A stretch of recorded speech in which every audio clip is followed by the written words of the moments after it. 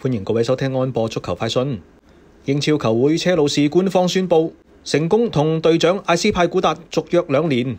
此前成传将会喺今个夏天离队，转投巴塞隆拿嘅艾斯派古达，最终都选择继续留喺车路士。新任班主保利经过深思熟虑之下，决定为队长提供两年合约，成功帮车路士留下呢位传奇人物嘅。